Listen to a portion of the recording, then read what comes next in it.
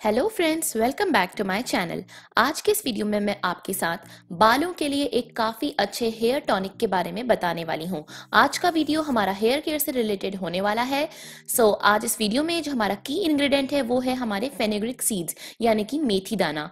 हमें यहाँ पर मेथी दानों से एक हेयर टोनर बनाना है अपने बालों के लिए। Fenugreek is great for your hair skin and body क्या आप जानते हैं कि मेथी दाने के आपके बालों के लिए क्या क्या फ़ायदे हैं? तो चलिए इस वीडियो को हम शुरू करते हैं। फेनुग्रिक सीड्स को बालों पर यूज़ करने से आपका हेयर फॉल रिड्यूस होता है। अगर आपके बाल बहुत ज़्यादा झड़ रहे हैं तो आपको मेथी दाने को अपने हेयर केयर रूटीन में ऐड ज़रूर करना चाहिए। इस रेमेडी को प्रिपेयर करने के लिए सबसे पहले मैंने यहाँ पर मेथी सीड्स लिए हैं। आप अपने बालों के अकॉर्डिंग सीड्स को कम या ज़्यादा कर सकते हैं।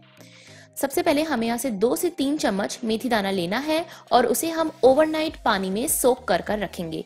उसके बाद मॉर्निंग में पानी का जो कलर है वो चेंज हो जाएगा। डार्क येलो उसका कलर हो जाएगा। तो ये जो मेथी के सीड्स रहते हैं, इन्हें हम यहाँ पर इस तरीके से भिगो देंगे। और क्या आप जानते हैं कि मेथी के सीड्स हेयर ग्रोथ प्रमोट करने का काम करते हैं? मेथी के इन छोटे छोटे दानों में इतनी ज़्यादा ताकत होती है कि आपके नए बाल उगाने में हेल्प करते हैं। जहाँ पर आपको स्कैल्प में बॉल्डनेस आ रही है, या फिर कहीं कहीं पर आपके बाल बहुत हेयर थिनिंग की प्रॉब्लम अगर हो रही है, बाल बहुत ज़्यादा पतले हो गए हैं एंड बीच से टूट रहे हैं तो मेथी दाना हेयर ग्रोथ को प्रमोट करने का काम करता है।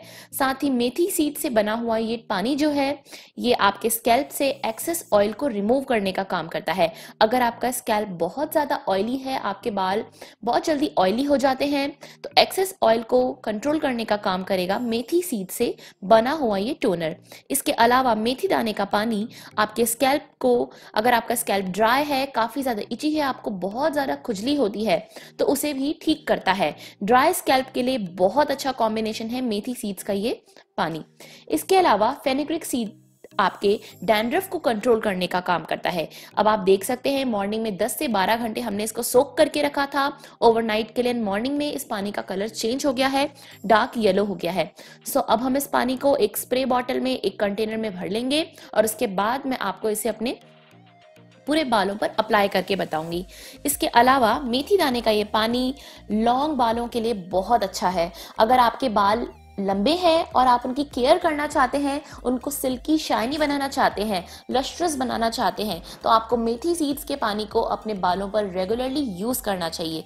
साथ ही प्री मैच्योर ग्रेइंग हेयर के लिए मेथी सीड्स का पानी बहुत अच्छा है। अगर आपके बाल टाइम से पहले सफ़ेद होना स्टार्ट हो गए हैं तो वीक में तीन से चार बार आप मेथी सीड्स के पानी को कुछ इस तरीके से, जैसे मैंने आपको करके दिखाया है, अपने पूरे स्कैल पर लगा सकते हैं। आप चाहें तो स्प्रे बॉटल लगा स्प्रे बॉटल की हेल्प से इसे अपने पूरे स्कैल पर लगा सकते हैं।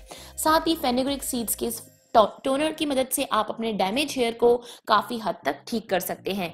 मेथी सीड्स का पानी आपके बालों के लिए एक काफ़ी अच्छा leave leave in hair conditioner की तरह काम करता है। इसे आप अपने बालों पर लगे रहने दें।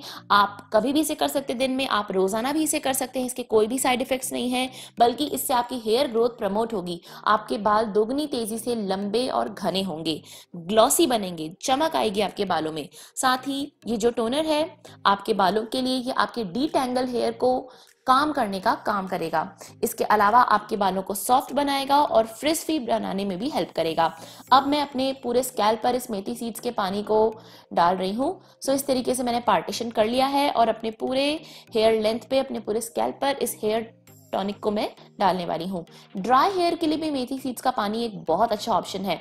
अगर आपके बाल ड्राई हो गए हैं, बहुत ज़्यादा डैमेज हो गए हैं हीट ट्रीटमेंट्स का यूज़ कर कर केमिकल वाले शैम्पूस कलर्स का यूज़ करके तो डैमेज हेयर के लिए भी ये हेयर टॉनिक कमाल का है।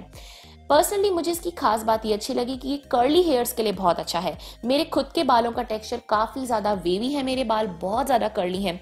सो कर्ली बालों को डिफाइन करने का काम करता है फ्रिज को रिमूव करता है और आपके बालों को नॉन स्टिकी बनाने का काम करता है, मेथी सीड्स का पानी।